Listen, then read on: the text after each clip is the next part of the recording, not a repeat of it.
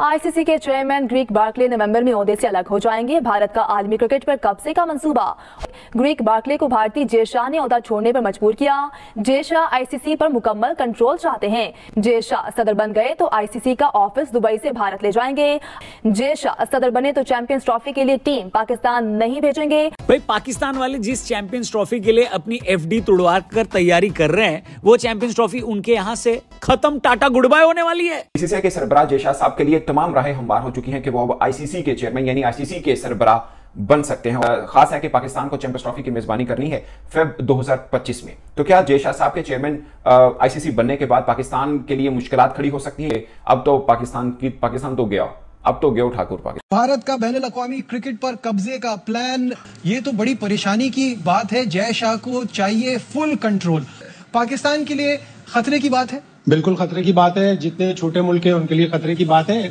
जब जैश आईसीसी के चेयरमैन बन जाएँगे सारा कंट्रोल उनके पास आ जाएगा। फिर उनका फैसला आखिरी फैसला होगा। अगर वो बीसीसीआई के जो भी नए जनरल सेक्रेटरी आएँगे अगर वो कहेंगे कि हमारी गवर्नमेंट अलाउ नहीं करे जैश आईसीसी के चेयरमैन कहना बिल्कुल ये तो क्लॉज के अंदर है। ये तो ला कहता है कि अगर आपकी जैसे कहते हैं गवर्नमेंट किसी मुल्क में जाने से मना करे तो आप नहीं जा सकते थे तो फिर हम जैसे कहते हैं आपका हाइब्रिड करवा देते हैं। ये तो लगता है भाई जेशा भाई अगर आईसीसी के चेयरमैन या बन गए तो फिर ये तो 2025 से पहले तो ये तो पाकिस्तान टीम को पाकिस्तान टीम के जिसे कहना चाहिए रुकावटें खड़ी करेंगे और शायद ये भारत को भी इस किस्म की बातें करें कि वो चैंपियंस ट्रॉफी खेल लेना जय शाह के आईसीसी अध्यक्ष बनने का रास्ता एकदम क्लियर होता जा रहा है और इसी वजह से पाकिस्तान में चैंपियंस ट्रॉफी का भविष्य अंधकार में पड़ गया है कि भौकाल तो हमारा ही है इंडिया पाकिस्तान आएगा हम्म। और पाकिस्तान में चैंपियंस ट्रॉफी का मैच होगा क्योंकि इंडिया ने आगे हाई प्रोफ़ाइल आईसीसी के इवेंट होस्ट करने हैं पाकिस्तान के स्टेडियम के अंदर बाथरूम नहीं है तब से काफ़ी ज़्यादा ट्रोलिंग हो रही है कि ये वही कौम है जो कहती है हमने कश्मीर फतह करना है, ये वही कौम है जो कहती है कि हमने फलस्तीन में जाकर जिहाद करना है, आपके मुल्क के अंदर बाथरूमों की कमी है।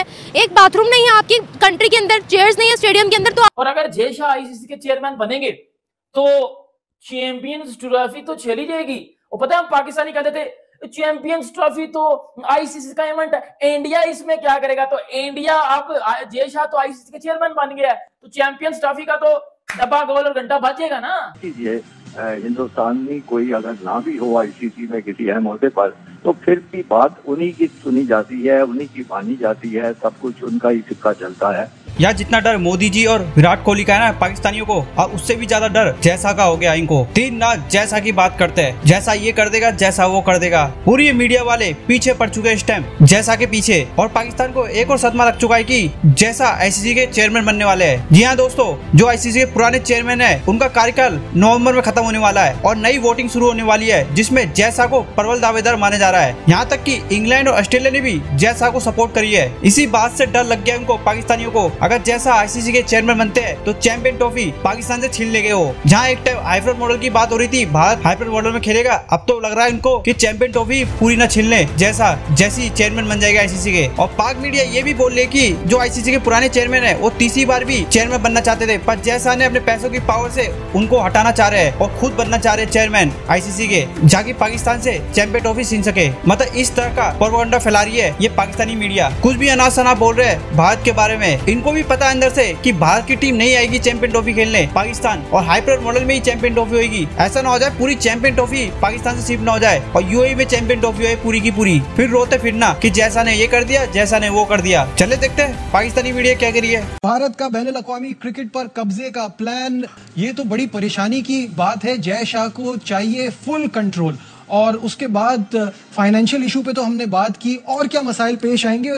पाकिस्तान के लिए खतरे की बात है। बिल्कुल खतरे की बात है, जितने छोटे मुल्क है, उनके लिए खतरे की बात है। पहले से था अपना कंट्रोल मजीद बढ़ाना चाहते हैं। और जय शाह, आप अगर आईसीसी के बिल्कुल चेयरमैन बनेंगे, उनको ऑस्ट्रेलिया और इंग्लैंड की हिमायत हासिल है। और सत्ताईस अगस्त तक बोर्ड्स ने अपने नॉमिनीज भी देने होंगे, कि ये चेयरमैन के लिए लड़ेंगे। लग रहा है कि बिला मुकाबले ही वो मुंतखब हो जाएँगे जयशाह और उसके बाद उनका पहला अमल दो तीन अमल में से जो पहला स्टेप होगा एक तो वो ये होगा कि वो आईसीसी का सदर जो है वो इंडिया में ले जाएँगे। हम ऑस्ट्रेलिया और इंग्लैंड इसलिए साथ देंगे भारत का कि उनके टीवी राइट्स ऑलरेडी बहुत अच्छे हैं। दोनों के बिलियन ऑस्ट्रेलिया का 1.5 बिलियन डॉलर्स का टीवी राइट से चार या पाँच साल का इंग्लैंड का भी 1.52 बिलियन को टच करता है पाउंड्स में।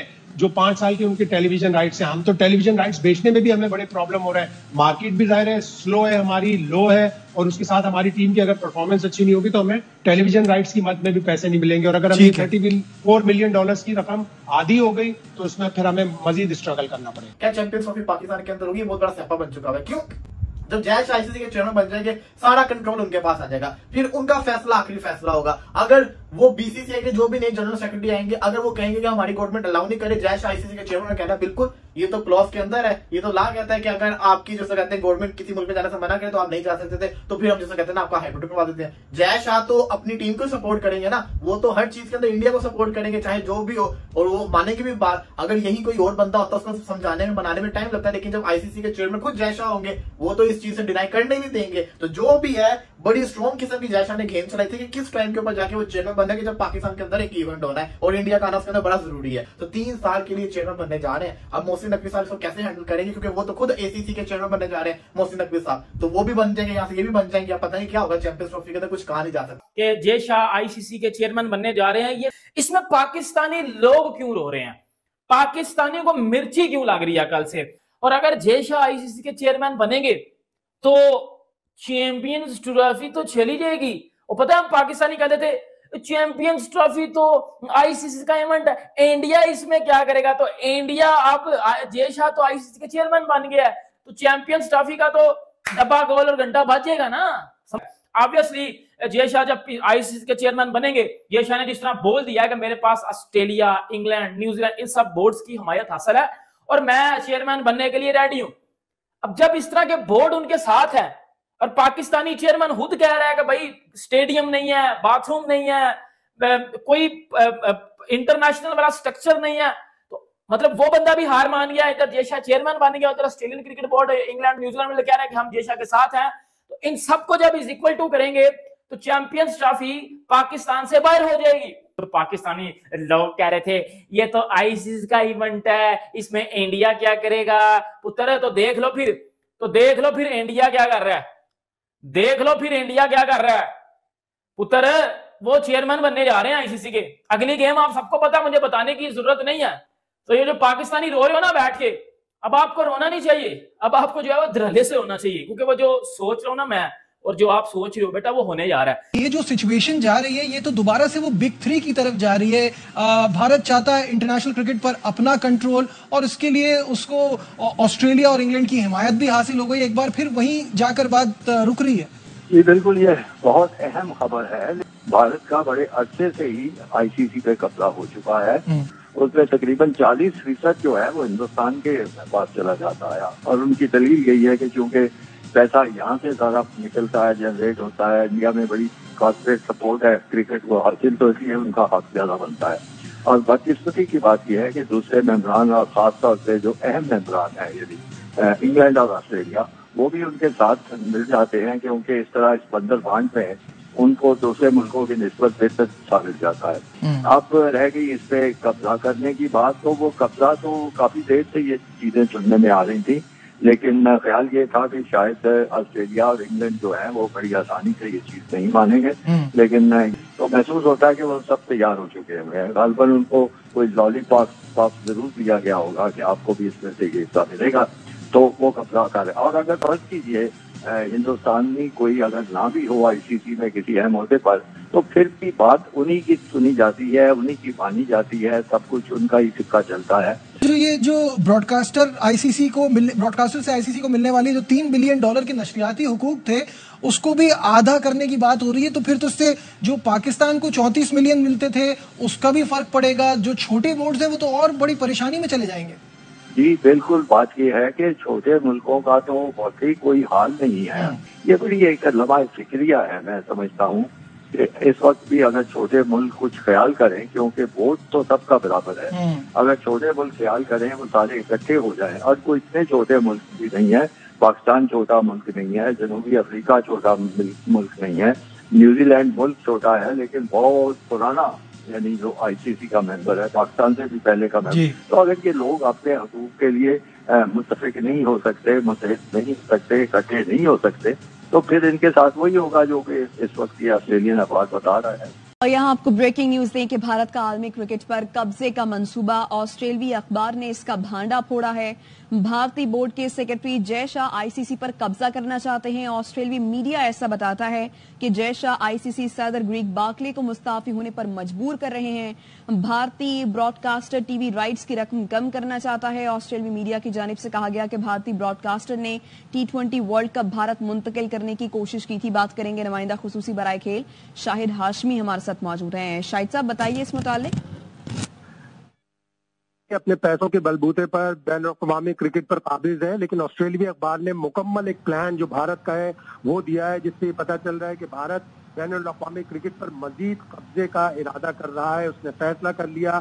भारतीय क्रिकेट बोर्ड के जो सेक्रेटरी हैं, जय शाह, वो आईसीसी के सदर बनना चाहते हैं। उन्होंने आईसीसी के जो सदर हैं, ग्रेग बाकले उनको मुस्ताफी होने पर वो मुस्ताफी हो जाए और अगली टर्म के लिए सदर न बने और भारतीय ब्रॉडकास्टर जो अवामी क्रिकेट के नशियाती हकूक जिसके पास है, वो अपने तीन बिलियन डॉलर जो चार साल माहिदा तीन बिलियन डॉलर का है, उसको आधा करना चाहता है, इसलिए कि वो कहता है हमें नुकसान है। और उसी भारतीय ब्रॉडकास्टर ने टी ट्वेंटी वर्ल्ड कप जो अभी अमेरिका और वेस्ट इंडीज में हुआ, भारत मुंतकिल करने की नाकाम कोशिश भी की थी। तो ऑस्ट्रेलिया अखबार ने भांडा फोड़ दिया है। अगर बैन अवी क्रिकेट के राइट्स आधी कीमत पर हुए तो Pakistan, New Zealand Sri Lanka, Bangladesh, West Indies, इन मुल्कों की फंडिंग में कमी आएगी और भारत को वैसे ही ज़्यादा फंडिंग मिलती है। और भारतीय ब्रॉडकास्टर बैन अवी क्रिकेट के हकूक अगर कम कर दिए तो इससे बैन आईसीसी जो इंटरनेशनल क्रिकेट काउंसिल है, उसके वो मुकम्मल कब्जा चाहता है भारतीय क्रिकेट बोर्ड अखबार ने दावा किया है पूरा भांडा उसने फोड़ दिया और उसने बताया कि एक वीडियो कॉन्फ्रेंस आईसीसी के हुकाम के दरमियान हुई है, जिस पर उन्होंने तशवीश का इजहार किया है। तो ऑस्ट्रेलवी अखबार ने बैन अवी क्रिकेट पर भारत के कब्जे का प्लान और उसका भांडा मुकम्मल तौर पर फोड़ दिया है। तो अगर ये सदर बन जाते हैं तो एशियाई ममालिक को और बिलखसूस पाकिस्तान को भी इसका नुकसान पहुंचेगा शायद साहब?